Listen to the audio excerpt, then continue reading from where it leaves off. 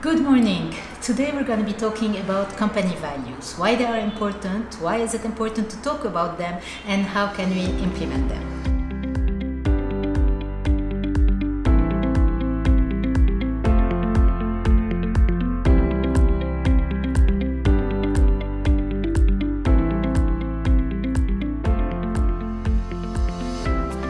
Channel is for entrepreneurs and business executives. We share insights, ideas, tips, interviews to help you become better leaders. So if you're new to this channel, consider subscribing on the link below. Let's get to the video.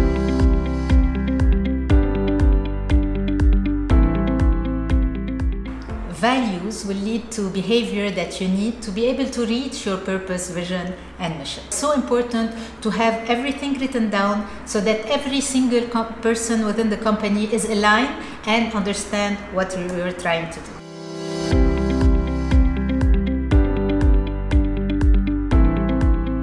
Let's start by defining your five values and think about the values as behaviors, as verbs, as uh, tools to help you make better decisions. And the reason it's so important that values are associated with verbs or with actions or with behaviors is that you want people to live by the values. You don't only want to have a set of words that are on a wall or on a piece of paper. You want people to understand how you want them to live these values every single day of their work life.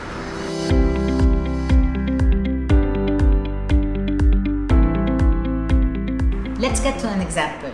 In our case, we have an acronym so that we remember them. It's GTT So it's growth, tribe, trust.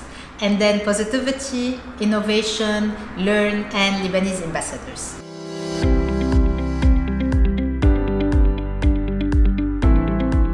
Positivity is always the first value that we talk about uh, during hiring when people come at their first day in the job because as we discussed before we're all about creating happy moments and spreading happiness and we cannot do that if we're not uh, positive from within. The whole idea and the reason why we talk so much about positivity so if someone doesn't doesn't think that he's or she is a positive person they know that they won't be able to belong here and they won't be able to succeed in a company that is all about positivity so also values or focusing on some values will help you attract the right people and also push away people that will not thrive within your organization.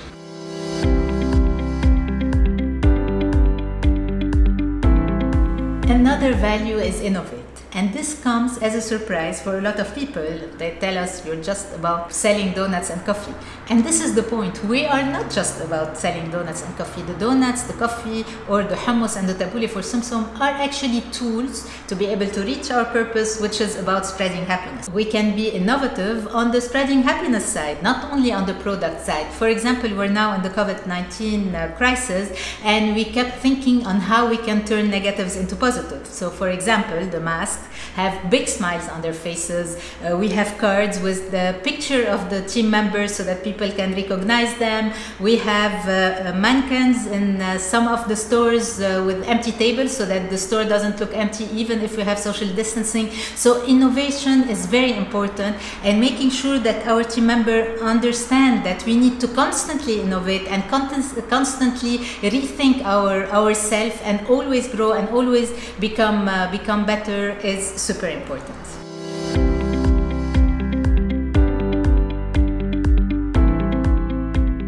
Now that it's clear why values are important and how they can spread positive behaviors within your organization, after you chose five values that are of importance to you, to your brand, to your company, now we're going to give you five ideas on how to implement your values into your company.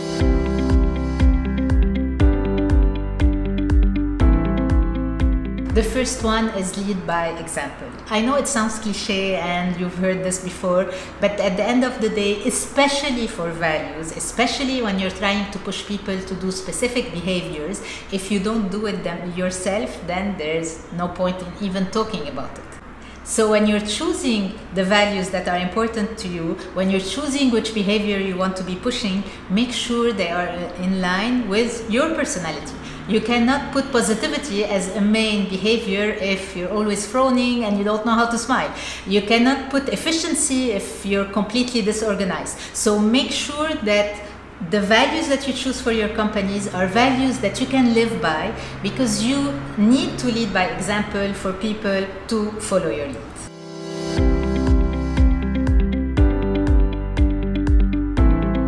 The second way of implementing them is to talk about them. Make sure they are part of interviews, they are part of training, they are part of onboarding process. If you are able to get people early on to get into the behavior that you want them to be focusing on, it makes everything easier.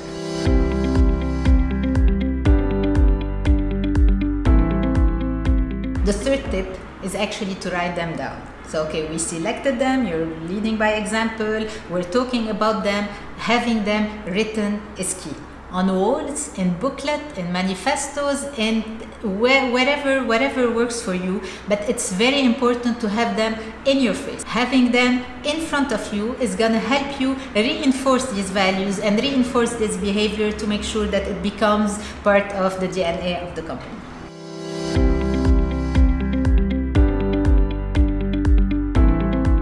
The fourth tip on ways to implement behavior is to actually play with them. Yep, we do activations every month, competitions between stores based on behavior so that people understand not only why the behavior is important, how you're living this uh, behavior, but also how can they live this value or live this behavior in their everyday life.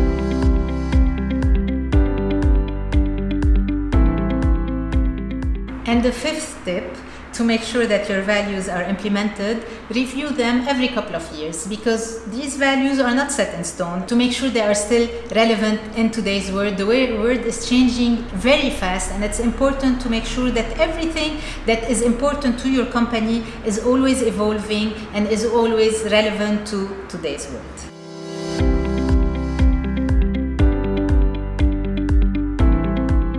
With this video, we're concluding our series of purpose, vision, mission, and values. If this was useful to you, first, don't forget to subscribe. Second, put some thumbs up to make sure that we know that you enjoyed the video. And don't hesitate to send us an email or a message with any question you might have on any of our social media platforms. See you next week.